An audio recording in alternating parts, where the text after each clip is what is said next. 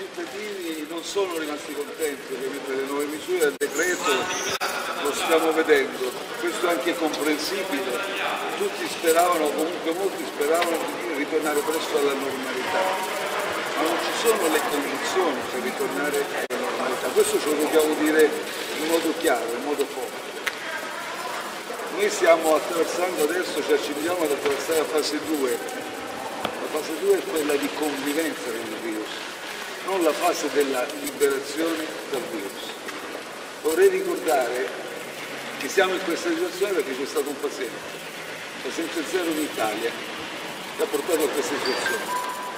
Oggi noi siamo con 105.000 contagiati. Domenica abbiamo avuto 2.300 contagiati nuovi, 256 nuovi decessi.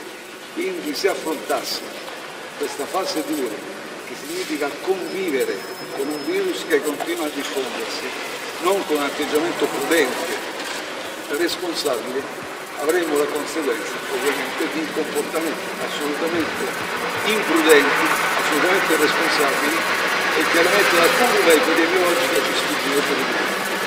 Vorrei anche ricordare che con questo provvedimento, già con le misure adottate del 4 maggio, noi immettiamo, mandiamo un lavoro, questo significa anche sugli autobus, sui mezzi pubblici, sugli autobus, mezzi di trasporto, 4 milioni e mezzo di lavoratrici e lavoratori, 4 milioni e mezzo che vanno ad aggiungersi ai tanti lavoratori che stanno già lavorando.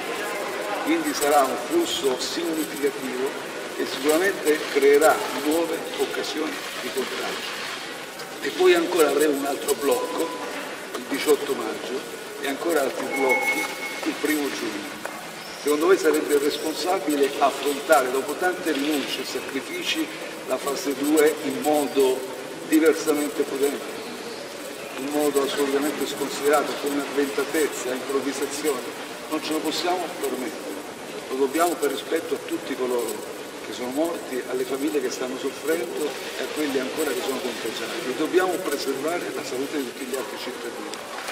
Ecco perché dico, stiamo facendo tanti sacrifici, non è questo il momento di mollare, non è un momento questo di libera tutti, lo voglio dire chiaro.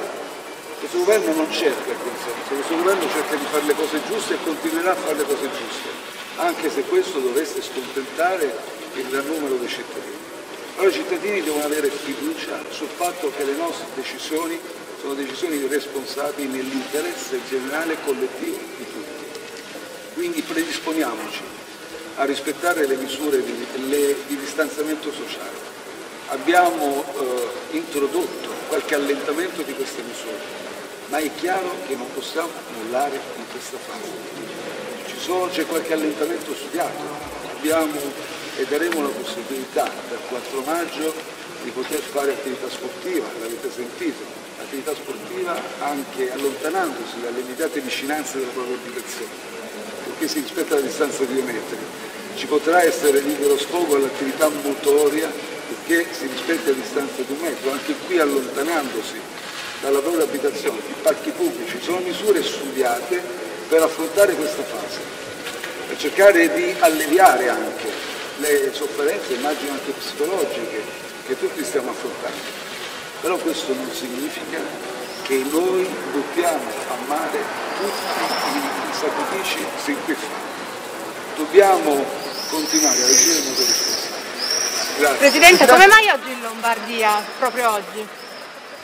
Beh, ovviamente non sono venuto nella fase più critica perché l'apporto del Presidente del Consiglio, che non è un sanitario, non sarebbe stato un apporto, anzi forse avrebbe anche creato intralcio nella fase più acuta dell'emergenza sanitaria. Quindi il primo momento utile era già mie, eh, nei miei proponimenti di venire, sarò qui, sarò a Brescia, sarò a Bergamo, se riesco già questa sera vorrei passare a Codogno, Lodi, io ho, ho degli orari un po' strani, spero di non creare per questo dei problemi, poi ovviamente non posso dimenticare Centro Piacenza, ma ritornerò, ritornerò presto perché adesso è una fase in cui diciamo, c'è sempre una situazione di grande emergenza, però è la fase in cui forse do anche meno intralcio e, e concretamente diciamo, meno fastidio agli operatori e ai responsabili che stanno operando in questa emergenza. Sui congiunti, Presidente, quando dice si potranno raggiungere i congiunti, ci chiarisce, intende solo i familiari o anche Guardi, i fidanzati?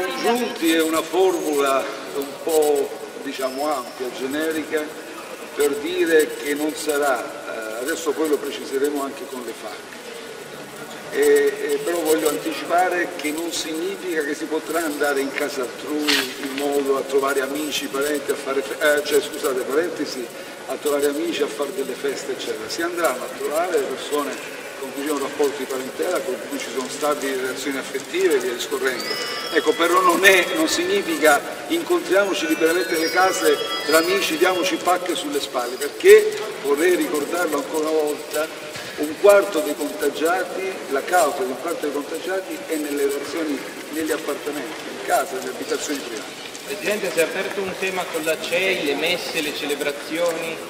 Ma io guardi, l'ho detto anche ieri nella conferenza stampa, dispiace molto perché questo governo ovviamente rispetto a tutti i principi costituzionali c'è una libertà religiosa, una libertà di culto, di professare anche con la pratica religiosa la propria fede.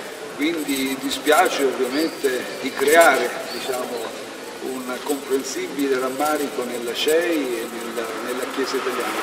Poi ci siamo anche sentiti con il Presidente Bassetti, ci sentiamo spesso, ci siamo sentiti con loro, non c'è assolutamente nessun atteggiamento materialista da parte del governo, nessuna insensibilità su questo.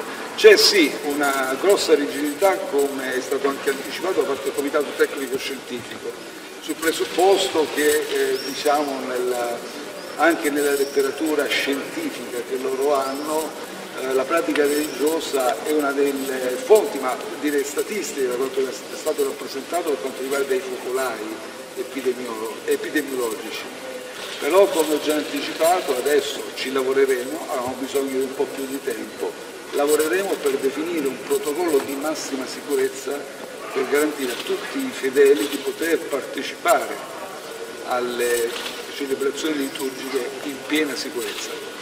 Frattanto, come è, già, è stato già anticipato, avremo un'apertura già per le cerimonie funebri, per le celebrazioni funebri e poi con questo protocollo che contiamo di definire nel pieno spirito di collaborazione con la CECO, con, con la, CECO, la Chiesa dei Vescovi Italiani, definiremo diciamo, un percorso per poter garantire anche nel loro interesse ovviamente, perché mi metto nei panni della responsabilità di un parroco che apre la Chiesa ai fedeli e vuole garantire la massima sicurezza. Com'è possibile che tutti in Lombardia... per regioni? Ma noi guardate, in realtà siamo predisposti per misure territorialmente circoscritte. Quindi il, la razza di questo piano, la filosofia è di avere un piano nazionale, perché altrimenti non si può controllare. Se uno lascia fare a livello territoriale e quindi ognuno va per la sua strada, sarebbe impossibile addirittura avere un piano, quindi una, un principio di razionalità diciamo, che ci consentirà di governare la fase 2, la fase della convivenza.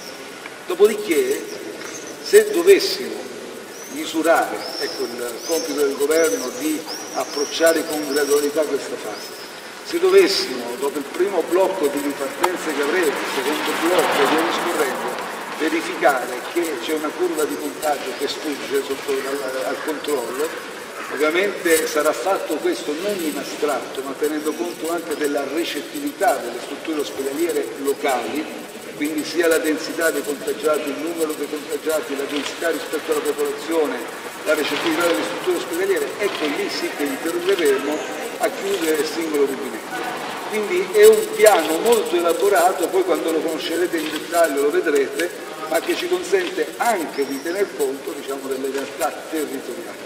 Presidente, risposta, una, una domanda, risposte serie e concrete alle famiglie che hanno figli che devono riprendere il lavoro arriveranno? Perché quelle fino ad ora, i 15 giorni di congedo, il Ma guardi, oggi ho fatto... in una regione dove ci sono mille casi ancora di contagio ogni giorno, pensare di far entrare in casa una babysitter col trasporto pubblico locale, mi scusi ma sembra paradossale, è una non risposta del governo.